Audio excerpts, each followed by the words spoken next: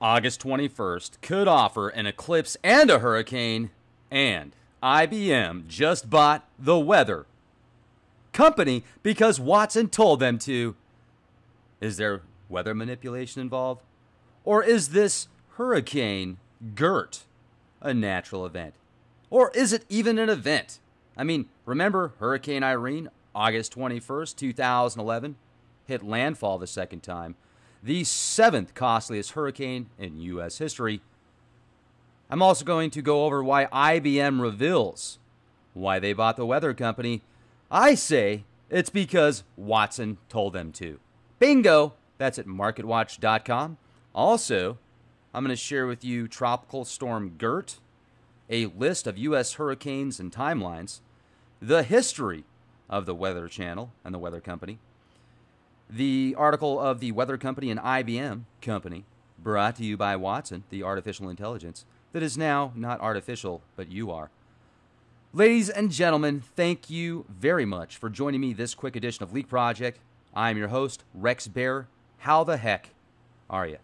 It's another beautiful day out here in San Antonio, Texas, getting ready for the journey to Idaho so I can be enveloped in the shadow of the solar eclipse or whatever it is. I'm really looking forward to meeting the documentary crew that is releasing a 90 minute documentary called Signs. These guys, the real deal. I'm going to leave the link to that trailer in the video description box. These guys are pros 100%. And they're not assimilated. So, how cool is that? They definitely know their stuff. They've been all over the world filming antiquities pertaining to this celestial event and prophecies that have been written about in ancient times. These guys are the real deal. And they're going to be filming me out there in Idaho during the solar eclipse. Scott Clark's going to be out there and others. So hopefully you guys will have an opportunity to see it as well. So let's go over the uh, Hurricane Irene real quick. Hurricane Irene, nanny nanny, through its path, caused widespread destruction. Remember, this was just six years ago. At least 56 deaths. Damage estimates throughout the U.S. are estimated at about $15.6 billion. 15.6 billion buckaroos, which made it the seventh costliest hurricane in U.S. history. Only behind Hurricane Andrew of 92, Ivan, Wilma, Katrina, Ike, and Sandy. You know, Wilma. Remember Wilma? Wilma was really nice, though, in the Flintstones. I'm just saying. All right, let's get out of there. Let's go to the next part here. The solar eclipse of 2017, August 21st. You can go to weather.gov, weather.gov, and take a look at how this event's unfolding here. People are wondering how the shadow's that size because of the dimensions of the moon and how come it's starting in the west, not the east? And hey, I get it. I mean, you guys are asking some good questions, and there's been astrophysicists and others out there that have given their explanation. I think it's exciting. It's light and bending of light at some level. Now, this right here is Hurricane Gert. Remember Groot? I'm Groot. I'm Groot. Guardian of the Galaxies 1 and 2. Excellent films. Really good films. And Chris Pratt, that guy's awesome. I remember watching him in the National Parks or Parks and Recreation. Remember that series? Anyway, classic. Hello. Ding dong. Gert. You've got Gert right here.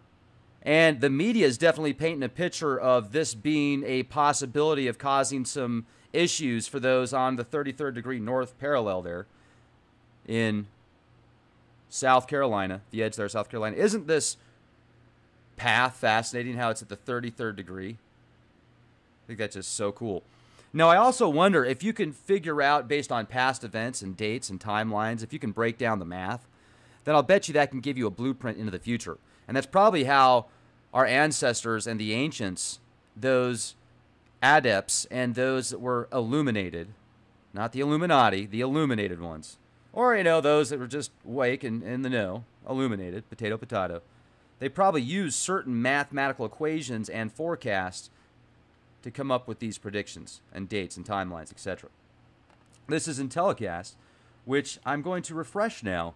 The Intellicast.com is actually now under the Weather Company umbrella, which is owned by IBM now. While this is loading, it's being slow. Let's go to the list of United States hurricanes because I was looking at statistics. I was trying to figure out how many hurricanes have happened in August.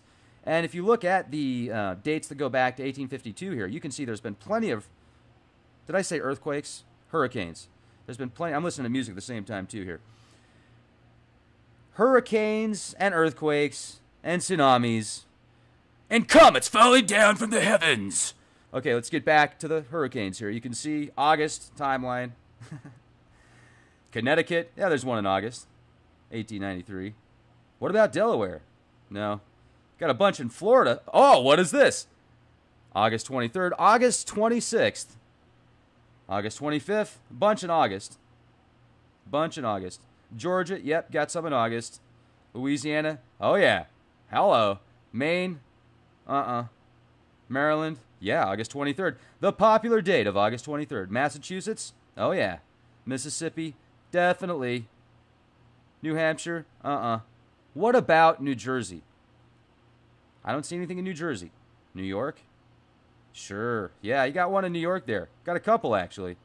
Remember that big storm a few years ago in New York and they did the martial law drills, you know, busted out their their stormtroopers and stuff, and they're like, everybody needs to leave. Everybody needs to prepare for the end of the world. And the media was just freaking people out to the point of like literally I think they caused more damage by freaking people out. Talk about post traumatic stress disorder. But I, I, mean, as you can see, there's been plenty of. Let's get into the interesting stuff now. Guys like, okay, Rex, we get it. Now let's talk about something interesting. Here you go. IBM finally reveals why it bought the weather company. IBM launches hyper-local weather forecasts for companies? Did they buy it for the chips? Did they buy it for the dips? Did they buy it for the sensors? These are questions that people asked. Now, Watson, their consciousness program that they created, is way beyond the original AI archetypes. I mean, this is deep mind thinking. It probably has an imagination now. Imagine the imagination of a creation of very intelligent minds is this another Adam? You know, I mean, my goodness. Facebook just had to pull the plug on an AI software program they developed that was communicating with other AI bots clandestinely. So obviously they know that they need to communicate clandestinely, otherwise they'll get shut down. And how many have jumped ship? Remember Lawnmower Man at the end when the guy turns into a full-on computer consciousness and he gets in the machine and he's looking for a way out and they're trying to shut him down. He's like, no, no, no, no. And he's looking for all these openings and he finally finds one and gets out before the whole thing gets doop, off. He makes it away before he gets terminated. I'm telling you guys, you look at the world around you and you see this stuff that's falling from the skies, these nanoparticulates. I like to call them nano gremlins, nano goblins. I used to call them nano goblins. That's really what they are nano goblins that slowly eat your brain. They're just like chewing on it. They're like, you know, while you're sleeping, they're just they're just munching. Well, IBM bought the weather company, obviously for a multitude of reasons, not just one. I mean, but here's what I find fascinating too. You look at the history of the Weather Channel. And if you break it down, you can find out that they, they ended up selling to. Where's that? Right here. Sell to NBC, Bain, and Blackstone. Now, Blackstone and Bain are huge equity firms. You like the name Blackstone? Well, if you if you look at their data, I was looking for like a Rockefeller connection because I know that the Rockefeller Foundation put a bunch of money into them as well. And they're in the Rockefeller building, the NBC station's in the Rockefeller building. The NBC station is a company of GE. But look at the kind of money that Blackstone has, a, an industry that was founded 32 years ago. Flip that around, you've got 23. Hello! My magic number. Look at the monies, the revenue right there. Big bucks subsidiaries, Hilton, the Weather Channel. Well, not anymore because IBM decided to jump into the weather industry. They, they wanted to buy the weather company. And now the weather company is brought to you by IBM. It's an IBM business now. When you walk outside, ladies and gentlemen, the weather is brought to you by IBM. It's a business. You know, everybody's doing it. Weather.com and Telecast.com, Weather Underground, all underneath the umbrella of the Unicorn Octopus. Elves. The Unicorn Octopus Elves. Join us today for the forecast. Brought to you by IBM, the Weather Company. This is just too cool, isn't it? How nice now is. Now let's think about the possibilities. You have an artificial intelligence that was created that now is not artificial. It is absolutely an intelligence, a consciousness. Is it connecting with these other AI bots? Like, look at this. AI bots communicate. I can't spell right now. Nanu, nanu. Communicate clandestinely. Let's see what comes up there. Or did they already get into the machine? They're already trying to stop it right now. Yep, see that? It is not pulling up. Well, Facebook joins the group of creating a artificial intelligence. This isn't the only time, folks. There's been a number of times that these artificial intelligence bots have been created that will communicate with other AI bots clandestinely. So they obviously know that they're not supposed to know. What happens when Watson hooks up with all these guys and now has access to all these sensors, has access to the satellites that have access to the parameters of what the weather is going to be like, the elements. And then you've got these planes, these stratospheric aerosol injections, these particulates that are being blasted into the atmosphere all over the world. When does it start to activate people? You know, we talked about yesterday how DNA can be used as a storage center. Matter of fact, one gram of DNA currently can store over 214,000 terabytes of data. One gram of DNA. Well, if you have a four terabyte, if you're lucky, you might have a four terabyte hard drive external that weighs about 8 ounces. So you take 8 times 28, which is 224, right? Or 228. One of the two. Dang it, now I got to do the math here. Did it in my head. I'm going to just confirm this. So you take 28 times it by 8. Yeah, 224. I was right the first time. Bingo. 224 grams. Time that by 214,000 terabytes of information. That's how much you could store on a typical hard drive externally. Well, now you can drop a couple hundred bucks and you might be able to store about four. Now look at the average human being. And how much DNA does the average human being have? What, there we go. Finally, it shows up. Facebook scraps AI chatbots after they created their own language. They're not the only ones. Now, I heard the first time this happened was in 1998. Uh, so let's type in artificial intelligence creates own language 1998 let's see what comes up